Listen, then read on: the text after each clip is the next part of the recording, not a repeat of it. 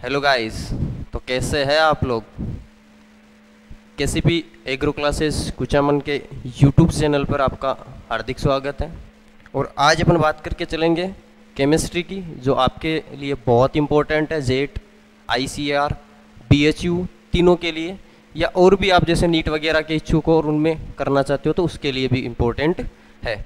और आज का जो टॉपिक है, वो है केमिस्ट्री का सबसे बेसिक टॉपिक और वहाँ से मैं बता दूँ आपको यहाँ तक कि आईआईटी एडवांस तक में भी क्वेश्चन आया हुआ मतलब जेट आई आर बी में तो हर साल आपको मिल ही जाएगा। उसके अलावा भी बहुत सारे क्वेश्चन हैं जो पूछे जाते हैं और वहाँ से क्वेश्चन एक क्वेश्चन आपको मिल जाएगा। जैसे कि मैं डिस्कस भी करूँगा कि पिछले साल जेट में उसका क्वेश्चन किस प्रकार से आया था। आज का अपना जो टॉपिक है, वो टॉपिक है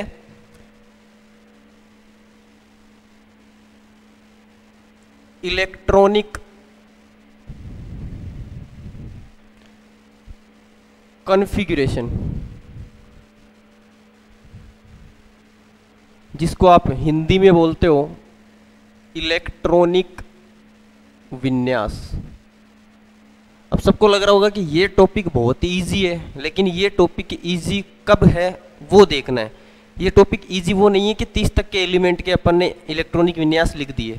ये टॉपिक इजी तब होगा जब अपन पूरे 118 तत्व का इलेक्ट्रॉनिक विन्यास लिखना सीख जाएँगे और उसके लिए पूरा ये टॉपिक क्लियर करने के बाद में एक फॉर्मूला बताऊँगा, जिससे कि आप विद इन ट्वेंटी सेकेंड आप आंसर कर सकते हो किसी भी क्वेश्चन का। तो पहले अपन स्टार्ट करते हैं कि इलेक्ट्रॉनिक विन्यास होती क्या चीज़ है? तो ध्यान रखना इलेक्ट्रॉनिक विन्यास की यदि मैं डेफिनेशन की बात करूँ इससे भी बड़े। तो डेफिनेशन की बात करके चले तो डेफिनेशन क्या बोलती है कि अपने को इलेक्ट्रॉन खुद बोल रहा है कि इलेक्ट्रॉन का विन्यास ही है तो इलेक्ट्रॉन को भरना है। कैसे भरना है? तो इलेक्ट्रॉन को ऊर्जा के बढ़ते क्रम में भरना। यानी कि इंक्रीजिंग ऑर्डर अब यहाँ पर अपने इंक्रीजिंग ऑर्डर ही क्यों लिया?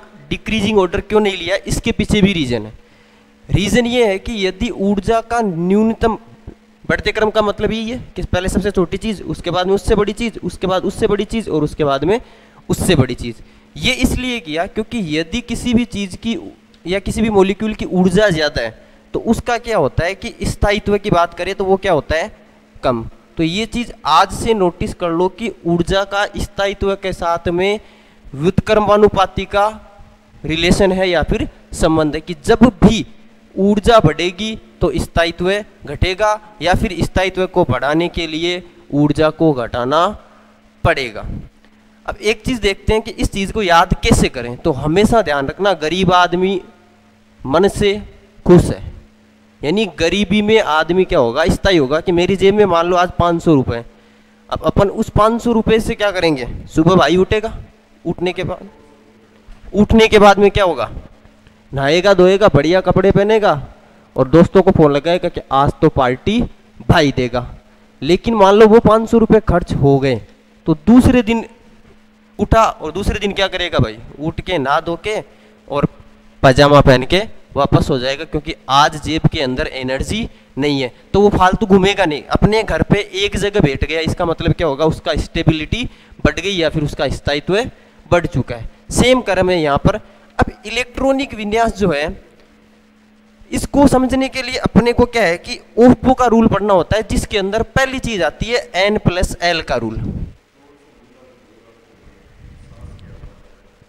एन प्लस एल नियम। अब इस एन प्लस एल नियम की बात करते हैं। तो अपन जनरली एन प्लस एल नियम पढ़ा होगा, लेकिन यहाँ से दो पॉइंट बताऊँगा, जिससे आपको एक बार मैं बता दूँ क्वेश्चन भी आया हुआ है। कि यहाँ पर जो एन है, ये होती है मुख्य क्वांटम संख्या, जिसको अपन क्या बोलते हैं? Principal quantum number. इससे ज़्यादा इंपॉर्टेंट है अब वाली चीज़, और वो क्या है?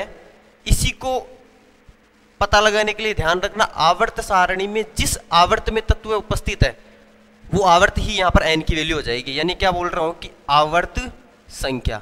यानी कि ये क्वेश्चन इस प्रकार पूछा गया था कि जो मुख्य क्वांटम संख्या होती है, वो किसको निरूपित करती है? तो ध्यान रखना, आवर्त सारणी में आवर्त की संख्या को निरूपित करती है कौन? मुख्य क्वांटम संख्या। आप एग्ज़ाम्पल भी ले सकते हो। जैसे मेरे पास में हाइड्रोजन है। मेरे पास में क्या है? हाइड्रोजन है। तो हाइड्रोजन का आप खुद देख सकते हो। आवर्त कौन सा है? पहला आवर्त। कौन सा आवर्त है? पहला आवर्त। और आवर्त में पहला आवर्त में हाइड्रोजन उपस्थित है और इसका इलेक्ट्रॉनिक विन्यास देख लेना। वन एस वन होता है तो देख लो, ये आवर्त की संख्या है। आप दूसरा ले तो मैंने ले लिया क्लोरीन। क्या लिया? क्लोरीन लिया। अब क्लोरीन को आप देख सकते हो। क्लोरीन का आवर्त कौन सा होता है भाई? थर्ड और क्लोरीन का इलेक्ट्रॉनिक विन्यास भी देख लेना। One s two two s two two p six, three s two, three p five. और यहाँ पर देखो। जो एन की वैल्यू थी, उसने क्या बता दिया? आवर्त की क्लोरीन तीसरे आवर्त में उपस्थित है। तो ये क्वेश्चन पूछा गया है कि आवर्त की संख्या को कौन निरूपित करता है? मुख्य क्वांटम संख्या, या फिर मैं बोल सकता हूँ प्रिंसिपल क्वांटम संख्या। दूसरी चीज़ है यहाँ पर एल कि एल क्या है? तो ध्यान रखना, ये होती है द्विगंसी क्वांटम संख्या, क्या होती है? द्विगंसी क्वांटम संख्या। अब ये क्या होती है कि अलग अलग उपकोष के लिए अलग अलग होती है तो आपको सिर्फ़ इतना ध्यान रखना है कि इस एल की वैल्यू जो आपका एस उपकोष है, आपका जो एस सब सेल है, उसके लिए होती है ज़ीरो पी के लिए ये होती है एक डी के लिए होती है दो और एफ़ के लिए होती है ये तीन। अपने को कुछ नहीं करना, आगे जो संख्या दी हुई रहेगी उसको जोड़ना है और एल की वैल्यू अपने को एस पी डी एफ़ से पता चल जाएगी। अब यहाँ से दूसरी चीज़ जो पूछी जाती है, वो चीज़ क्या है कि अपने को इस संबंध से कभी कभार क्वेश्चन इस प्रकार भी पूछ लेता है कि मान लो मेरे पास दिया हुआ था कि मेरे पास है वन एस और टू पी। अब इसको दो तरीके से क्वेश्चन पूछ सकता है। पहले मैं लगाऊँगा इसके अंदर एन प्लस एल का नियम। तो एन प्लस एल को जोड़ो। तो एन प्लस एल को जोड़ोगे तो एन की वैल्यू कितनी है? एक। एल की वैल्यू एस के लिए ज़ीरो तो इसका योग कितना आ गया? एक। इसके लिए मैं सेम चीज़ लिखूँगा एन की वैल्यू दो। पी के लिए एल की वैल्यू कितनी है? एक। दो और एक कितना हो गया? थ्री तीन हो गया। अब इधर देखो। यहाँ पर एन प्लस एल का नियम क्या बोलता है? एन प्लस एल का नियम जो है वो क्या बोलता है? पहली चीज़ ध्यान रखना कि जिसके लिए एन प्लस एल की वैल्यू जिसके लिए एन प्लस एल की वैल्यू सबसे कम है, उसमें इलेक्ट्रॉन पहले भरो, उसमें इलेक्ट्रॉन पहले भरो। कैसे? इसके पीछे रीजन है। दूसरी चीज़ क्या बोलता है कि मान लो ऐसी कंडीशन आ जाए कि ये एन प्लस एल की वैल्यू समान आ जाए तो क्या बोलता है कि एन प्लस एल का मान अगर समान हो तो इलेक्ट्रॉन उसमें या फिर उस उपकोष में भरना है जिसके लिए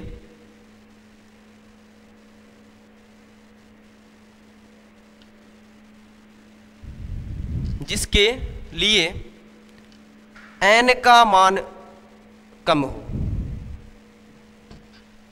अब इधर देखेंगे कि अपने पास नियम क्या था? एन प्लस एल का नियम। बोल क्या रहा है कि पहले उसमें भरो, जिसके लिए एन प्लस एल की वैल्यू क्या हो? कम। और एन प्लस एल की वैल्यू यदि सेम आ जाए तो फिर किसमें भरोगे? कि जिसके लिए एन की वैल्यू क्या होनी चाहिए? कम होनी चाहिए। यहाँ पर देखो एन प्लस एल का योग एक है और यहाँ पर क्या है? तीन। तो इलेक्ट्रॉन पहले किसमें भरा जाएगा? वन एस में के? टू पी में। तो इलेक्ट्रॉन पहले भरा जाएगा वन एस के अंदर। लेकिन कभी कभार क्वेश्चन ऐसे भी पूछ लेता है कि एनर्जी किसकी ज़्यादा होगी? तो एनर्जी का क्या कर दो? उल्टा, क्योंकि वो स्थायित्व के क्रम की क्या होती है? वित्त व्युतकर्मानुपाती होती है। अब देखो, इसका एग्ज़ाम्पल लेते हैं दूसरे वाले का। ये पहले वाले का एग्ज़ाम्पल था, अपन दूसरे वाले का लेते हैं। मान लो मेरे पास में था 2p और 3s तो 2p के लिए n की वैल्यू तो सामने लिखी हुई संख्या है तो दो। P के लिए l का मान कितना है एक। तो दो प्लस एक कितना हो गया? तीन। यहाँ पर 3s के लिए देखते हैं तो थ्री। S के लिए वैल्यू कितनी होगी एल की? ज़ीरो। तो थ्री प्लस ज़ीरो भी कितना हो गया? थ्री। यानी अब की बार तो मामला क्या हो गया? सेम हो गया। भाई जी, अब क्या करें? तो अब कुछ नहीं करना। दूसरा नियम क्या बोलता है? जिसके लिए एन का मान कम हो, उसी के अंदर इलेक्ट्रॉन बढ़ दो। तो यहाँ पर एन की वैल्यू किसके लिए कम है? टू के लिए। तो इलेक्ट्रॉन पहले किसमें भरा जाएगा? टू और थ्री के अंदर बाद में भरा जाएगा। अब बात करते हैं नेक्स्ट ये नियम क्यों पढ़ा? तो ध्यान रखना, इस नियम को अभी कहीं भी कुछ भी नहीं करना है। आपने आज तक जो पढ़ा, उसको भूल जाना। क्योंकि इस नियम को मैं लास्ट वाला जो अपना राज का फॉर्मूला है जिससे अपन किसी भी एलिमेंट का लिख सकते हैं, उसमें अप्लाई करूँगा, अभी कुछ नहीं करना है। अब लेते हैं अपन एग्ज़ाम्पल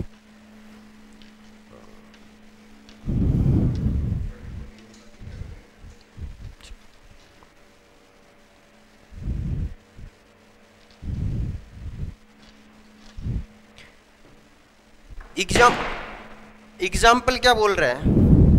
कि अपना जो दूसरा रूल है इसने क्या बोला था कि यदि एन प्लस एल की वैल्यू समान आ जाए तो इलेक्ट्रॉन किसमें भरना है, जिसके लिए एन का मान क्या था? कम था। ऐसा क्यों हुआ देखना कि मान लो मेरे पास में कोई एटम पड़ा था। और एटम के बीच में क्या होता है? प्रोटॉन और न्यूट्रॉन इसके बाहर एक, दो, तीन। और सेम मेरे पास में कोई दूसरा आइटम पड़ा था, और उसके लिए भी क्या था? ये कंडीशन थी। अब इस दोनों कंडीशन के अंदर देखना है कि मेरे पास में एन का जो मान है, ये किसको बताएगा? कोष की संख्या को।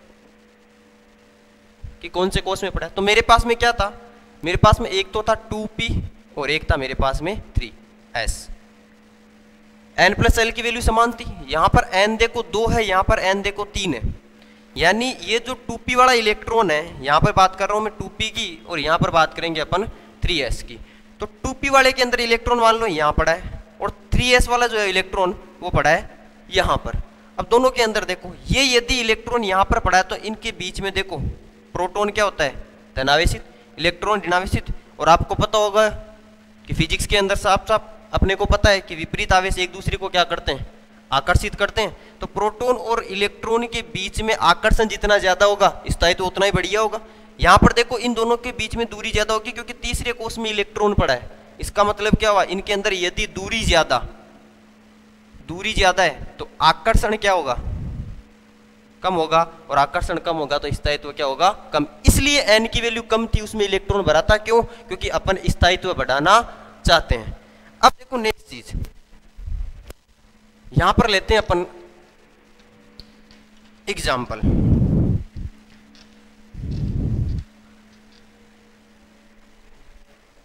एग्ज़ाम्पल में मेरे पास में था, मान लो। Two p, three s, four d, five s, six p, ये सब मेरे पास में दिए हुए हैं। इनमें से कौन से उपकोष में मैं इलेक्ट्रॉन भरूँ तो अपने को क्या लगाना भाई? एन प्लस एल का नियम लगाना है। सीधी चीज़ अब एन प्लस एल का नियम लगाएँगे तो यहाँ पर क्या होगी वैल्यू इसके लिए टू प्लस पी के लिए वन टू एंड वन यहाँ पर क्या हो जाएगा? थ्री प्लस ज़ीरो कितना हो जाएगा? थ्री यहाँ पर कितना हो जाएगा? फोर प्लस टू तो कितना हो जाएगा? सिक्स यहाँ पर कितना हो जाएगा? फाइव प्लस ज़ीरो कितना हो जाएगा? फाइव यहाँ पर कितना हो जाएगा? Six plus one equal to seven तो यहाँ पर देखो सेकेंड रूल तो पहले अपने को रिक्वायर हो गया कि यहाँ पर देखो थ्री और थ्री समान आ गया। तो एन की वैल्यू देखो किसमें कम है? टू पी के अंदर तो पहले तो मैं भरूँगा टू पी के अंदर, क्योंकि बाकी सब तो क्या है, ज़्यादा। तो टू पी के बाद में किसमें भरूँगा मैं? थ्री एस के अंदर। थ्री एस के बाद में। अब देखो यहाँ पर सेवन, सिक्स, फाइव, सिक्स और फाइव तो पहले किसमें भरूँगा? Five S. उसके बाद में फोर डी। उसके बाद में सिक्स पी। तो ये क्या आ गया अपना इलेक्ट्रॉन को भरने का क्रम। या फिर बोल सकता हूँ, ऊर्जा का क्रम। लेकिन स्थायित्व का क्रम पूछे तो इसका ज़्यादा। फिर कम फिर कम फिर कम, सबसे कम। एनर्जी का क्रम, सबसे कम, सबसे ज़्यादा सबसे ज़्यादा सबसे ज़्यादा सबसे ज़्यादा। स्थायित्व है, इसका सबसे ज़्यादा। क्लियर है? यहाँ से क्वेश्चन पूछा जा सकता है। अब देखो नेक्स्ट चीज़ अब यहाँ पर अपन ने लोअर क्लासेज में या फिर इलेवन ट्वेल्थ में भी बहुत बार एक चीज़ पढ़ी थी, वो एक अपने को ट्रिक लिखवाया करते थे। कि सबसे पहले आप लिखोगे वन एस, फिर आप लिखोगे टू एस, टू पी, फिर आप लिखोगे थ्री एस, थ्री पी और थ्री डी, फिर आप लिखोगे four s, four p, four d और फोर एफ़ और फिर इसको ऐसे काट दोगे और बोलेगा कि इसके अंदर इलेक्ट्रॉन भरो, फिर इसमें फिर इसमें फिर इसमें, ऐसे कंटिन्यू चलता रहेगा। आज से ये रूल नहीं लगाना है, क्योंकि अपने को क्वेश्चन करना है 20 से 30 सेकंड अपने को टाइम इतना मिलेगा, या तो 20 सेकंड या फिर मिलेगा 30 सेकंड अब देखो, अब करना क्या है अपने को? इसके अंदर ये रूल लगाएँगे तो अपने को टाइम ज़्यादा लग जाएगा। तो आपको क्या करना है कि जैसे मैं बोल दूँ कि भाई 114 नंबर वाले तत्व का इलेक्ट्रॉनिक विन्यास लिखो तो कितने काटोगे? 114 तक। अपने को ऐसा नहीं करना। अब इंपॉर्टेंट जो चीज़ है, वो है अपना फॉर्मूला और उसके आगे लिख लेना, राज की बात। और ये जो राज की बात है, यही अपना फॉर्मूला है। और इसी को आज से याद रखना फॉर्मूला क्या है? फॉर्मूला ध्यान रखना। फॉर्मूले में लिख रहा हूँ मैं I n minus two f n minus one d n s n p कुछ नहीं करना, पहले दो घटाओ फिर एक घटाओ, और फिर ज़ीरो या फिर कुछ नहीं करना अपने को। तो यहाँ पर देखो, आई है क्या? ये सबसे इंपॉर्टेंट चीज़ है। तो ध्यान रखना, आई है। जिस तत्व का आपको इलेक्ट्रॉनिक विन्यास लिखना है ना, उस तत्व के समीपस्थ, यानी उससे पहले वाले जो समीपस्थ अक्रिय गैस है, वो लिखो। उससे पहले वाली समीपस्थ अक्रिय केस तो ये क्या है? नियरेस्ट इनर्ट गैस, यानी समीपस्थ अक्रिय गैस अब देखो, अपने को क्या करना है? पहला काम कर लिया नियरेस्ट गैस लिखनी है। इसके बाद में अपने को क्या करना है कि ये जो एन है, इसको फाइंड करना है। एन मैंने कुछ बताया था पहले तो ध्यान रखना है कि ये पता लगाना है कि वो कौन से आवर्त का तत्व है। तो यहाँ पर एन क्या हो जाएगा? आवर्त की संख्या। आवर्त की संख्या क्या हो जाएगी? एन हो जाएगी। अब आवर्त की संख्या एन हो गई तो एन की वैल्यू में से दो घटा दो और एफ़ लिख दो, एक घटा को डी लिख दो और आगे आगे आवर्त की संख्या लिख दो। तो इस प्रकार अपन क्या कर सकते हैं? फॉर अपने फॉर्मूले से क्या लिख सकते हैं? इलेक्ट्रॉनिक विन्यास। अब देखते हैं इससे फ़ायदा क्या हुआ। जैसे मैंने लिया, शुरू से ले लेते हैं अपन, मैंने लिया हाइड्रोजन कि हाइड्रोजन का इलेक्ट्रॉनिक विन्यास लिखना है सर मेरे को तो मैं क्या करूँ? कुछ नहीं करना, इधर देखो। मेरे पास थी सबसे पहला काम क्या है? नियरेस्ट गैस कोई बात नहीं है नियरेस्ट गैस मैंने ली। नियरेस्ट गैस अब हाइड्रोजन से पहले तो अक्रिय गैस आती नहीं है तो इसको हटा दो। हटा दिया? तो नियरेस्ट गैस का लफड़ा खत्म। एन आवर्त कौन सा है भाई? हाइड्रोजन का पहला। अब पहले आवर्त में से एक में से दो घटाओगे माइनस का एक एफ़ होता ही नहीं है, हटा दो। एक में से एक गया ज़ीरो डी होता नहीं है। बचा क्या? वन एस और वन पी भी नहीं होता तो बचा क्या है? वन एस कितने इलेक्ट्रॉन बढ़ने थे? जितने नंबर पे हाइड्रोजन आता है तो वन एस वन सेम चीज़. अब इस फॉर्मूले से अब अपन क्वेश्चन करते हैं एक और जो बहुत ज़्यादा है इंपॉर्टेंट जैसे मेरे को बोला गया था कि अपने को डी ब्लॉक का सामान्य सूत्र बताना है। जो कि पिछली बार आया भी था जेट के अंदर। तो इधर देखो डी ब्लॉक का सामान्य सूत्र निकालना था, कुछ बात नहीं। डी ब्लॉक का कोई भी एक एलिमेंट लिया मैंने, स्केंडियम ले लिया। अब स्केंडियम लेने के बाद मैंने लिया, स्केंडियम के देखो नियरेस्ट गैस कौन सी है भाई? आर्गन ये लिया मैंने आर्गन कितने नंबर पे आती है? 18 नंबर पे। अब देखो आर्गन आवर्त कौन सा है? तो आप देख सकते हो हीलियम नियोन आर्गन मतलब आर्गन कौन से में? तीसरे आवर्त में। तो अपने क्या किया? लिया तीसरा। तीसरे में से, तीन में से दो गया। एक, वन एफ़, नहीं होता है, काट दो। तीन में आवर्त कौन सा? है नीना नीना और तो अब देखो इधर। यहाँ पर क्या हो जाएगा? चौथे आवर्त के अंदर है। सॉरी कौन से आवर्त में? चौथे आवर्त में चार में से एक गया। तो आ जाएगा अपने पास में थ्री डी क्योंकि एफ़ तो एग्जिस्ट ही नहीं करता टू एफ़ तो इधर देखो नेक्स्ट चीज़ अब यहाँ पर क्या हो जाएगा? Four s. और क्या बच गया? Four p. अब ध्यान रखिए तो पहली चीज़ क्या कर ली थी? अक्री गैस को पहचाना। अब यहाँ आ गया। अब यहाँ आते मामला के अब क्या करें? तो ध्यान रखना, अब क्या करना अपने को? अब लगाना है अपने को एन प्लस एल का रूल बहुत इंपॉर्टेंट चीज़ है। तो ध्यान रखना कौन लगाना है? एन प्लस एल का रूल तो एन प्लस एल का रूल देखो। इनके ऊपर लगाओ n plus l n plus l लगाओगे तो थ्री प्लस टू यहाँ पर क्या हो जाएगा? Four plus zero, four plus one. तो यहाँ पर देखो, थ्री और टू कितना हो गया? Five. Four one, five. Four zero, four. इसका मतलब इलेक्ट्रॉन पहले किसमें भरना है?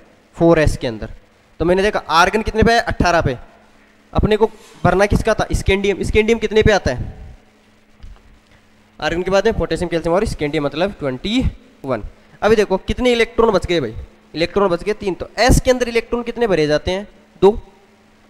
अब बचा गया। अब इसके बाद में देखो अपने पास बच गया थ्री और फोर इलेक्ट्रॉन पहले किसमें भरे? तो यहाँ पर देखो, दोनों के लिए वैल्यू सेम आ गई। तो जिसके लिए एन की वैल्यू कम, उसमें भरो तो थ्री में भरा जाएगा और थ्री के अंदर इलेक्ट्रॉन कितने बच गए थे? एक। इसका मतलब स्केंडियम का अपने पास क्या आ गया था? Argon three d one four s two तो यहाँ से देखो डी ब्लॉक का सामान्य सूत्र कैसे निकालते कि मैंने डी ब्लॉक के सारे सूत्र एलिमेंट लिए। और उनसे क्या करूँगा? देखो, ये तो आर्गन यानी कि एक तो इलेक्ट्रॉन आएगा थ्री में, एक आएगा फोर एस टू के अंदर। अब इधर देखो, मैंने क्या बोला था कि जो एन की संख्या है एन का जो मान है, या एन की जो वैल्यू आपको दी हुई जो संख्या आगे लिखी हुई है, वो किसको बताएगी भाई? आवर्त को। इसका मतलब कौन से आवर्त में है? चौथे आवर्त में। तो चार तो एन की वैल्यू है। यहाँ पर मान, अपना जो कॉन्फ़िगरेशन आया था, वो क्या आया था?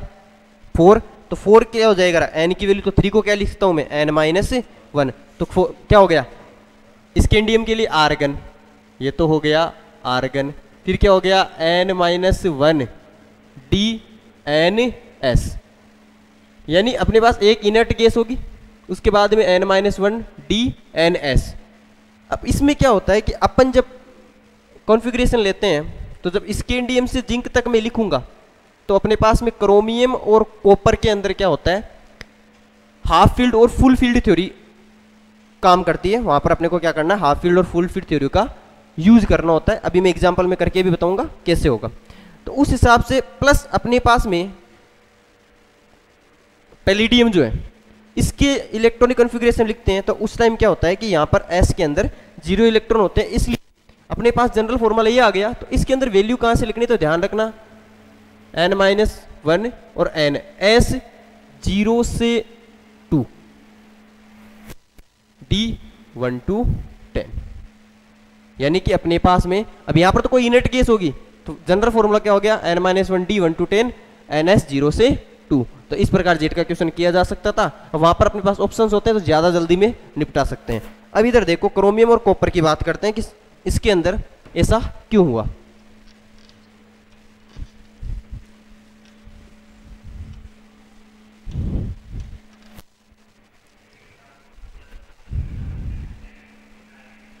अब मेरे पास में मैंने लिया क्रोमियम और यहाँ पर लिया कॉपर और ध्यान भी रखना, इन दोनों में से क्वेश्चन भी पूछा गया है। तो क्रोमियम का जब मैं लिखूँगा तो क्रोमियम कितने पे आ रहा था भाई? स्केंडियम, टाइटेनियम वेनेडियम और क्रोमियम मतलब 24 और ये कितने पे था? 29 के ऊपर। जब मैं इसका इलेक्ट्रॉनिक कन्फिग्रेशन लिखूँगा तो मेरे पास तो हो जाएगा, एक तो आर्गन है ही मतलब थ्री डी, और यहाँ पर क्या है? फोर एस तो हो जाएगा four s two three d, four, ऐसा होना चाहिए था। लेकिन जब मैं डी की स्ट्रक्चर बनाता हूँ तो डी में कितने होते भाई? एक, दो, तीन, चार। कितने हो गए? पाँच ऑर्बिटल हो गए। अब इधर देखो। इन कक्षकों के अंदर में क्या करूँगा? इलेक्ट्रॉन जब भरूँगा तो यहाँ पर देखो, एक, दो, तीन, चार। और एस के अंदर आपको पता होगा, एक ही कक्षक होता है। तो यहाँ पर देखो, मैंने भरा दो इलेक्ट्रॉन अब होता क्या है कि ये तो देखो, पूरा भरा हुआ है। इसको यदि मैं एक इलेक्ट्रॉन दे दूँ तो देखो सारों का जो चक्रण है वो एक तरफ़ हो जाएगा और इसका स्थायी तो ज़्यादा बढ़ जाएगा। तो यहाँ वाला जो एक इलेक्ट्रॉन था, वो कहाँ चला गया? यहाँ पर चला गया। इसके क्रोमियम के केस में क्या होता है कि ये एक्सेप्शनली कहाँ होता है? इलेक्ट्रॉन यहाँ पर आ जाता है ताकि देखो ये भी स्थायी हो गया और ये भी क्या हो गया? स्थायी हो गया। तो दोनों क्या हो गए? स्थायी हो गए, इसलिए यहाँ पर होता है। सेम कॉपर के केस में तो कॉपर ट्वेंटी पे था। तो इसके अंदर क्या होगा? डी के अंदर इलेक्ट्रॉन भरे जाते हैं नाइन। और एस के अंदर इलेक्ट्रॉन भरे जाते हैं पूरे दो। तो यहाँ पर क्या होगा? यहाँ का एक इलेक्ट्रॉन इसके अंदर चला गया। इसको यहाँ से दे दूँ तो इसको मैं जब यहाँ से हटा दूँगा तो यहाँ पर देखो, ये अर्ध पूरी ये भी स्टेबल हो गया और ये पूर्ण भर गया तो यहाँ पर क्या होगा? पूर्ण पूरित हो गया। तो ये भी क्या हो गया?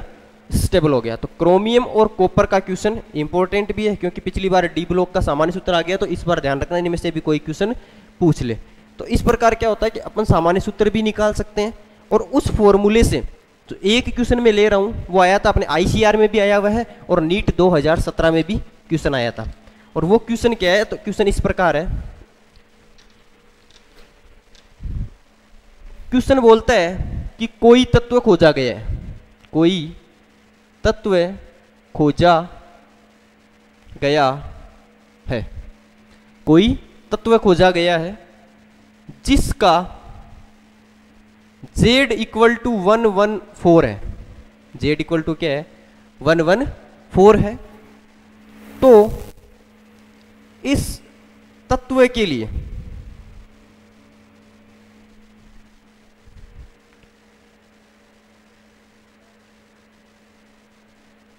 इसका वर्ग तथा सूत्र का इलेक्ट्रॉनिक विन्यास क्या होगा? अब देखो जेड बराबर वन वन फोर अब वन वन फोर है तो आपको पता होगा टोटल एक सौ अट्ठारह तत्व है तो आवर्त अपने को सीधा ही पता चल गया कि सेवंथ आवर्त के अंदर है। सातवें आवर्त के अंदर है, इसका मतलब एन की वैल्यू कितनी हो गई? सात। तो एन माइनस टू की वैल्यू कितनी हो गई? पाँच और एन माइनस वन की वैल्यू हो गई सिक्स तो एन की वैल्यू आ गई। अब अपने को फाइंड करनी है समीपस्थ अक्रिय गैस। और आपको पता होगा कि रेडोन इसके पास में 86 पे प्रेजेंट रेडोन के बाद में अपने को वही अपना सूत्र n minus two f n minus one d n s n p अब देखो एन की वैल्यू कितनी थी? सेवन तो एन माइनस टू की वैल्यू कितनी होगी? फाइव तो फॉर्मूला क्या हो जाएगा? Radon five f n minus one कितना है? सिक्स डी एन की वैल्यू कितनी? सेवन एस और सेवन पी अब देखो नेक्स्ट चीज़। अब अपने को इलेक्ट्रॉन भरने तो इलेक्ट्रॉन पहले किसमें भरे? एफ़ में भरे के डी में भरे के एस में भरे के इस सेवन पी में भरे। रूल क्या बोलता है? एन प्लस एल लगाओ। लगाया एन प्लस एल यहाँ पर एन प्लस एल लगाया तो फाइव प्लस थ्री एफ़ के लिए एल की वैल्यू कितनी थी? थ्री यहाँ पर सिक्स प्लस डी के लिए कितनी थी? टू सेवन प्लस ज़ीरो और यहाँ पर भी कितना हो जाएगा? सेवन प्लस वन अब यहाँ पर देखो, इनको जोड़ो। फाइव और थ्री कितना हो गया? एट सिक्स प्लस टू कितना हो गया? एट सेवन प्लस ज़ीरो कितना हो गया? सेवन और सेवन प्लस वन कितना हो गया? एट हो गया। तो इलेक्ट्रॉन इसका मतलब ये तो फिक्स हो गया कि पहला तो इलेक्ट्रॉन भरा जाएगा सेवन एस में। जबकि लोग यहाँ पर गलती क्या कर लेते हैं? कि ये फॉर्मूला तो दे दिया, अब इसमें इलेक्ट्रॉन क्या करते हैं कि पहले फाइव में भर देते हैं, फिर सिक्स डी में, फिर सेवन एस फिर सेवन ना। पहले इलेक्ट्रॉन किसमें भरा जाएगा? सेवन एस के अंदर। रीजन क्या है? एन प्लस एल की वैल्यू सबसे कम है। उसके बाद देखो इन तीनों में से अब इलेक्ट्रॉन किसमें भरे? तो अपने पास देखो यहाँ पर भी आठ है यहाँ पर भी आठ है यहाँ पर भी आठ है। तो एन की वैल्यू देखो सबसे कम किसमें? फाइव यानी इसको कितने नंबर पे भरूँगा मैं? सेकंड पे। ये किस पे भरा जाएगा? फ़र्स्ट पे वो सेकंड पे। और ये कित, कितने नंबर पे आएगा? यहाँ पर एन की वैल्यू सिक्स है तो ये हो जाएगा थर्ड पे। और सेवन पी क्या हो जाएगा? फोर्थ नंबर पे भरा जाएगा। चलो मैं भरना स्टार्ट करता हूँ। रेड ऑन 86 पे हो गया। 86 के बाद में मैं क्या करूँगा? मैंने दे दिया दो इलेक्ट्रॉन सेवन एस को। 88 हो गए। मैंने एफ़ के अंदर इलेक्ट्रॉन कितने बढ़ सकते हैं? 14 डी में कितने इलेक्ट्रॉन भर सकते हैं? 10 इलेक्ट्रॉन अब देखो कितने बच गए। 86 और टू 88 88 और 10 कितने हो गए? 98 इसके अंदर मैं जोड़ूँगा कितने? 14 कितने हो गए? One one two. अब देखो अपने पास एटॉमिक नंबर कितना था? One one four. यानी कि दो इलेक्ट्रॉन बच गए। वो दो इलेक्ट्रॉन कहाँ भर दूँगा मैं? पी के अंदर। अब देखो, सामान्य सूत्र के अंदर एन की वैल्यू पहचाननी होती है यहाँ पर देखो एन की वैल्यू क्या है? सेवन यानी कि पहली चीज़, सातवें आवर्त का तत्व है। एक चीज़ क्लियर होगी। दूसरी सबसे इंपॉर्टेंट चीज़, कि सातवें आवर्त तो है, लेकिन लास्ट इलेक्ट्रॉन किसके अंदर भरा गया था? पी के अंदर। अब देखो, इसका फ़ायदा ये मिला था कि मैं यदि एफ़ ना भर के पहले इसमें, फिर इसमें उल्टा बढ़ देता, इसमें पहले इलेक्ट्रॉन बढ़ जाता, ये तो एफ़ ब्लॉक का एलिमेंट हो जाता। जबकि देखो लास्ट इलेक्ट्रॉन कहाँ आया? पी के अंदर। इसका मतलब मेरे को इसका ब्लॉक भी पता चल गया कि तत्व कौन से ब्लॉक का है। पी ब्लॉक का तत्व है। तीसरी सबसे इंपॉर्टेंट चीज़ पी ब्लॉक के अंदर सेवन सेवन को क्या मानना है मेरे को? एन तो सूत्र क्या बन गया? N s two n p two n s two n p two किसका सामान्य सूत्र होता है? याद करो, कार्बन परिवार का। किसका होता है? कार्बन परिवार का। इसका मतलब मेरे को इसका, देखो वर्ग पता चल गया, कौन सा? कार्बन परिवार। यानी कार्बन परिवार का सदस्य। नेक्स्ट इंपॉर्टेंट चीज़, कि मेरे पास इसका इलेक्ट्रॉनिक विन्यास भी आ गया और इलेक्ट्रॉनिक विन्यास क्या आया? रेडोन उसके बाद में five f fourteen six d ten seven s two और सेवन पी टू ये आ गया इसका इलेक्ट्रॉनिक विन्यास, जो अपने को निकालना था, और वर्ग क्या आ गया? कार्बन परिवार जो ऑप्शन में दिया हुआ था, और अपन अब तो ब्लॉक भी निकाल सकते हैं कि पी ब्लॉकर ये भी बता सकते हैं कि पी ब्लॉक में, यानी पी उपकोष के अंदर कितने इलेक्ट्रॉन है तो दो इलेक्ट्रॉन भरे गए थे, इतने क्वेश्चन इसमें से पूछे जा सकते हैं। और देखो, अपन ने एक से लेकर तीस तक के नहीं, अपन ने किया है एक सौ चौदह नंबर वाले परमाणु का इलेक्ट्रॉनिक विन्यास निकालना सीख लिया। तो इस प्रकार अपन क्या कर सकते हैं? निकाल सकते हैं। अब देखो, इलेक्ट्रॉनिक विन्यास से एक बार क्वेश्चन आया हुआ था, वो बहुत वो बहुत मतलब तरीके से पूछा था इसने। और उसको थोड़ा सा अपन क्या करते हैं, परमाणु वाले चैप्टर में से थोड़ा सा नॉलेज यहाँ लगा के और उसका देखना आंसर करेंगे। उसने ये बोला था कि अपने को निकालना है नाइट्रोजन नाइट्रोजन का उत्तेजित अवस्था में इलेक्ट्रॉनिक विन्यास। ये बहुत इंपॉर्टेंट क्वेश्चन था, जहाँ गलती करने के ज़्यादा चांस होते हैं। अब देखो, यहाँ पर पहली चीज़ की है इसने, उत्तेजित अवस्था। तो अपन देखते हैं उत्तेजित अवस्था क्या होती है, उसके बाद में इसका इलेक्ट्रॉनिक विन्यास निकालते हैं। सामान्य इलेक्ट्रॉनिक विन्यास क्या होता है नाइट्रोजन का? कितने नंबर पे आती है भाई? सेवन पे। तो one s two two s two two p three ये हो जाता। तो अपन को क्या करना था? इसने बोला था कि इसके अंदर नाइट्रोजन का अपने को इलेक्ट्रॉनिक विन्यास निकालना है। तो अब देखो। तो नाइट्रोजन का इलेक्ट्रॉनिक विन्यास निकल था। इसको छोड़ दो। बायतम कोस कौन सा? Two s. तो टू एस के लिए देखो। ये एस में दो इलेक्ट्रॉन बढ़ दिए मैंने। और पी के अंदर भी क्या बढ़ दिया इलेक्ट्रॉन बढ़ दिए। एक, दो और तीन। उत्तेजित अवस्था का मतलब होता है कि इस इलेक्ट्रॉन को यहाँ से हटाना है। अब यहाँ से हटाऊँगा टू पी के बाद में देखो। नहीं जाएगा। तो इसका मतलब इसके अंदर उत्तेजित अवस्था होती नहीं है। इसके अंदर उत्तेजित अवस्था होती नहीं, क्योंकि नाइट्रोजन का देख लो two p two s two p अब टू डी होता नहीं है। तो खाली आगे देखो उपकोष ही नहीं है। और उपकोष नहीं है तो यहाँ से इस इलेक्ट्रॉन क्या होगा, स्प्लिट नहीं होगा। फिर देखो, एक बार नाइट्रोजन के बारे में क्या क्वेश्चन पूछा गया है कि नाइट्रोजन का जो ऑप्शन में इलेक्ट्रॉनिक विन्यास पूछा था, उसके अंदर इस प्रकार ऑप्शन दिए हुए थे। उसने सामान्य ऑप्शन नहीं दिए थे और वो ऑप्शन इस प्रकार थे। एक तो उत्तेजित अवस्था इसमें होती नहीं है, जिसका आंसर आपने वो भी पढ़ा होगा कि पी सी एल फाइव तो बन जाता है, लेकिन एन नहीं बनता है। तो वो भी यहाँ से हो जाता है। एक क्वेश्चन वो भी था। अब यहाँ पर देखो, उसने ऑप्शन में क्या किया था कि वन एस टू दे दिया टू एस टू दे दिया। कोई डाउट नहीं।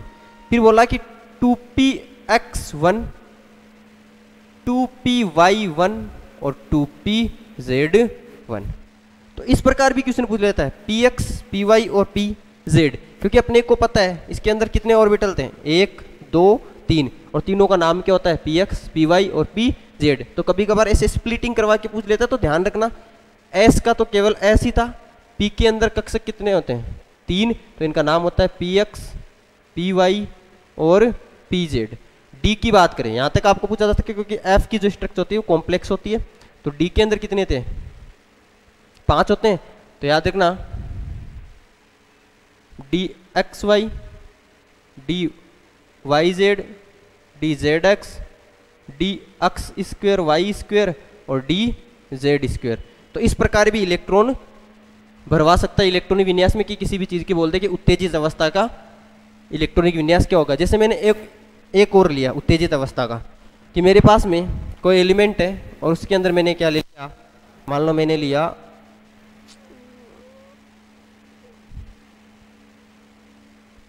n s two, n p two. मैंने ले लिया, मान लो, मैग्नीशियम ले लिया। तो मैग्नीशियम के लिए मैंने क्या किया? इलेक्ट्रॉन भरा। मैं तीसरे कोर्स से स्टार्ट कर देता हूँ तो थ्री एस टू होता है।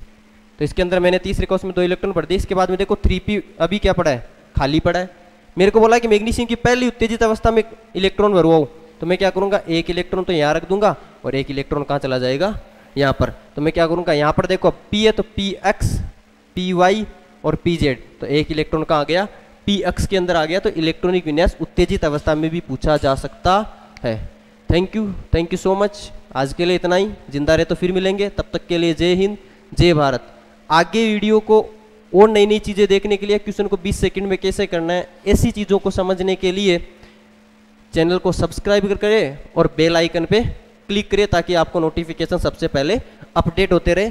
और यहाँ से अगला वीडियो जो आपको देखने के लिए मतलब उत्तेजित करेगा, उसके लिए मैं एक क्वेश्चन दे के जा रहा हूँ, जिसका आंसर आपको करना है बहुत इंपॉर्टेंट क्वेश्चन है, आपको ढूंढना भी उसका। कि मेरा क्वेश्चन ये है कि अपनी आवर्त सारणी में सात आवर्त है। मान लो आवर्त सारणी भविष्य में आगे बढ़ी और तत्वों की संख्या बढ़ गई, और आवर्त सारणी में सात आवर्त की जगह में आवर्त की संख्या कर दूँ ग्यारह तो मुझे ये बताओ कि यदि ग्यारह ना होकर दसवें आवर्त तक कुल कितने तत्व भरे जा सकते हैं? इसका आंसर फाइंड आउट करें। Thank you thank you so much